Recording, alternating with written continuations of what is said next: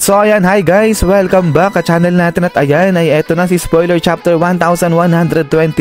So bago tayo magsimula, ay kung bago ka pa lang din sa channel natin ay huwag mo kalimutan mag-subscribe at pakipindot na rin yung notification bell para ma-update ka every time na meron tayong bagong upload. So yun lang naman po at ulit, ay huwag na nga natin patagalin pa. Simulan na natin yan.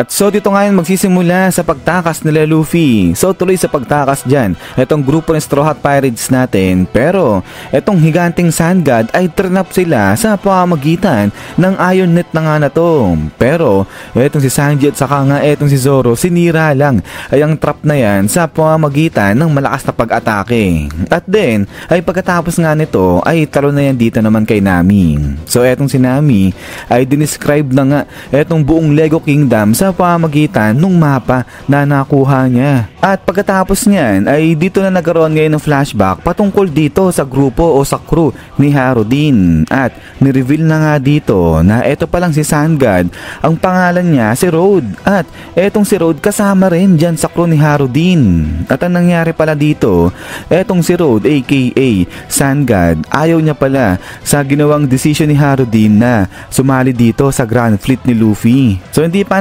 nababanggit rito kung bakit ayaw neto ni Sangad yung ginawa nga decision ni Harudin na sumali dyan sa Grand Fleet ni Luffy. Pero ayun ay nagkaroon pala sila ng conflict dyan. But then ay pagkatapos nga nito ay talo naman dito yan kay Sunny. So dito nabanggit na etong si Sunny napadaan pala siya doon sa kung tawagin na sleeping mist area. So ayun yung dahilan kung bakit naging unconscious ngayon yung grupo ng Straw Hat Pirates nga natin. At dito na nga may dumating na isang crew na nagangalang di ko alam kung Mugin o Mugin yung tamang pronunciation dyan. Pero yun, may dumating na crow dito at kinuha ngayon etong barko. So yun pa pala dito, not sure pa kung etong crow na nga na to, yung sana kalaban nila Luffy na guardian ito ni Sangad, yung kumuha kay Sunny. Pero ang malinaw, may ibon na kumuha, may crow na kumuha dyan nga sa barko na yan. But anyways, ay pagkatapos nga nito, sa dulo ng chapter na to ay may kita na etong si Nami at kasama niya nga dyan, etong si Zeus, kinidlatan nila etong si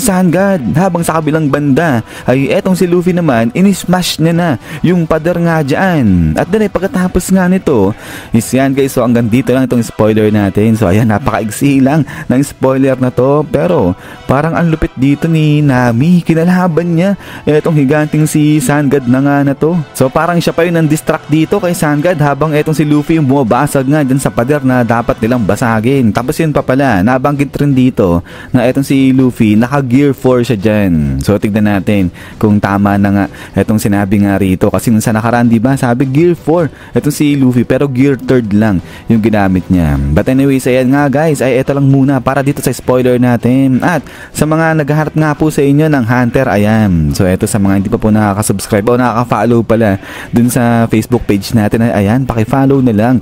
Etong si Facebook page natin guys dahil dyan ko po nilalagay etong si manga series ni Hunter natin. So yung link nito nandiyan lang sa may comment section saka sa may description. So yun na naman po at ulit ay maraming maraming salamat sa panood nga dito kay One Piece natin. So abang-abang lang para sa full chapter nito. So yun lang naman. So lagi mag-ingat. God bless nila at kita-kits tayo ulit.